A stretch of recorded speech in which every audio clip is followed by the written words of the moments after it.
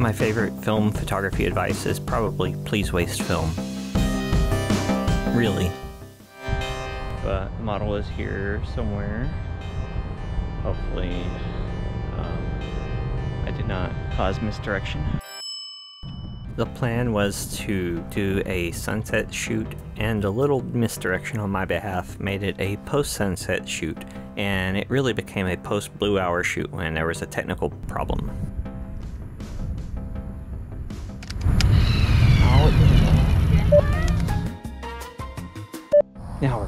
Okay. All the batteries are in. The strap broke off. What the hell? Oh my god. But still, Yeah. it shouldn't be breaking like that. No. I guess I'll have to use the little tripod socket now, but it's okay. Long story short, a single 9 volt battery is not enough to power a Hasselblad 500 ELX, no matter what eBay says. And also, the strap broke off my light meter and I lost the little lens cap for the spot meter and I didn't even know it. So that all contributed to this very late shoot as you can see. However, I wanted to shoot with flash so I decided to just give it a go. There were some nice city lights back there which uh, I didn't expect from my city. I was feeling pretty unsure about everything and it seemed like everything went wrong with the shoot, but I pressed ahead. I was shooting Kodak Vision 3 500T 65mm trim down I got off of eBay and it suffered badly in shipping. And uh, it feels like I did okay considering I think I could have done a lot better and if I had brought a tripod to put the camera on, it definitely would have helped. So I decided that we were to try this again a few days later and see if we could improve on this. I definitely should have documented the moment because I knew it might happen. But last time I was out here, my light meter strap mount broke. And that also held the lens cap for the light meter. And I didn't realize I lost it until I was already home. I've been meaning to go back to this spot all week but I didn't. And when I came out here it looked like the grass may have been cut recently. So I'm like well probably got mulched. But then I noticed something as I set up my flash the uh, Sekonic light meter cap. So yes I have my light meter cap back. I'm gonna clean it up a bit and I'm just gonna stick it right back on the light meter. With the location set and understood, we only had to get there on time to get the late sunset and early evening. Is that an old Tommy camera? Yep, That's cool. film camera, yep.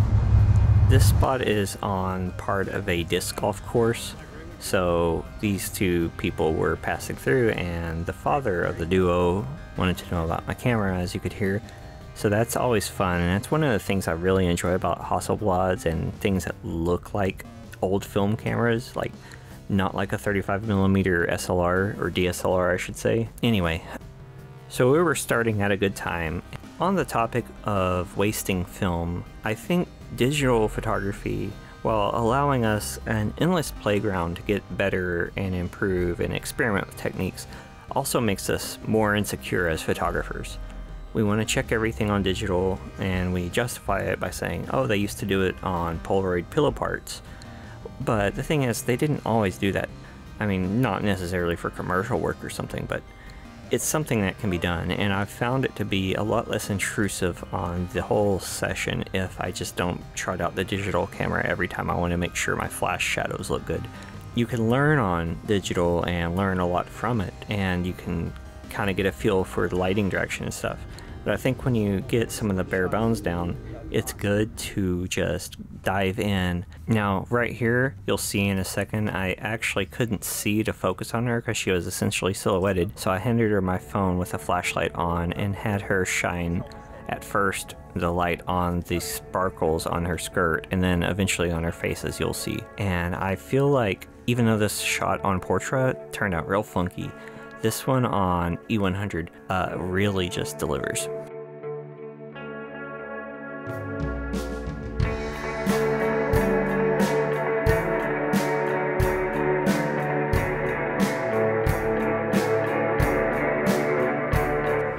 And so yeah, I knew pretty well that within the that end of the roll of Ektachrome I shot with her, that we had pretty much gotten what we had come for the first time.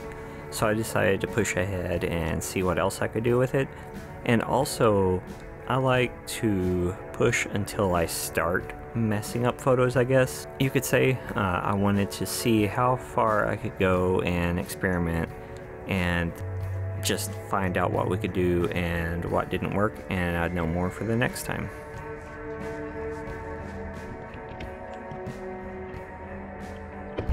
There we go. If it falls, it falls.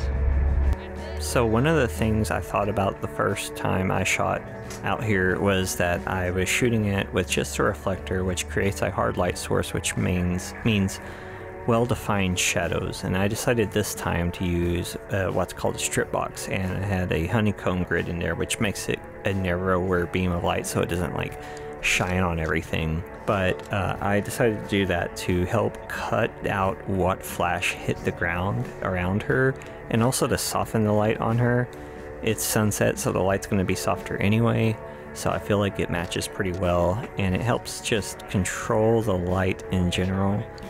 So I shot these on Portra 400, which I don't always get along with, but with these certain colors uh, in the background and the sky and then that really cool jacket, I think it did beautifully and I was super happy with it. And sure, I could have gotten a little more foreground exposure or something, but I think considering that I was just trying to like go for bonus points here, I, I'm pretty happy. So as things got darker, I started getting less sure, but I decided to press ahead, and I had the tripod this time, unlike last time, so I could start really slowing down the shutter speeds. Of course, I forgot a release cable, so I had to be extra careful not to introduce camera shake, which found its way in there anyway, but you win some and you lose some. So what I'm doing here is mirroring the ambient light with the flash.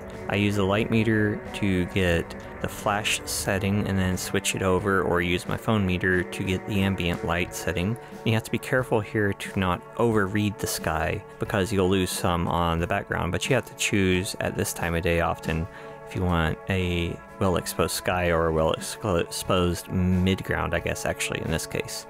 I chose the sky, of course, and so marrying the flash with the ambient light by checking the readings on the light meter, I could do that without having to resort to using a digital camera. Although, it's a good way to learn. It's just when you can get that out of the way, it's kind of nice to work with. So now we're well past blue hour, but we decided to try for one more shot that we saw last time we were out here. It involved this shop that used to be a gas station, which had its lights on last time we were there. For some reason tonight they did not, and all we had was that light from that distant vape store, and it just kind of like ruined the vibe. And instead of calling it a day, I decided to go through one last roll of film and see what we could manage which involved her driving her car up here and uh, combining it with a flash and the car headlights.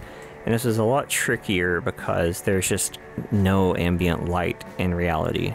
And once again, I knew full well that this was going to be like blackness with a car headlight and some background light and a flash. And I felt like maybe it wasn't worth shooting because the ambient light was just going to be really hard but to deal with. But I decided to press ahead because we need to waste film sometimes. I mean, I don't mean it like in a privileged kind of way. I just mean that if we play it safe so much, we're never going to really get far enough or learn the medium well enough to do more adventurous things with it. And by the way, I balanced this out by taking a reading of her legs and those car headlights and then matching that with the flash output and then I just got the ambient as bright as I could with a slow shutter speed I could manage without a release cable, which as you can see wasn't very good. But also the places where I lit the picture better, like I had light falling on the mask of her face and everything, uh, I think turned out pretty well uh, when it defined the area that we were interested in. Could have had a second flash here and done some cross lighting and make a like a rim light along the back of her head so you could see. But again that's something that I wouldn't have picked up if I hadn't done this already. So now I have ideas for another round of photos. So thanks for watching and waste some film you know a little bit at least subscribe like this video turn on notifications and I'll see you soon. Thanks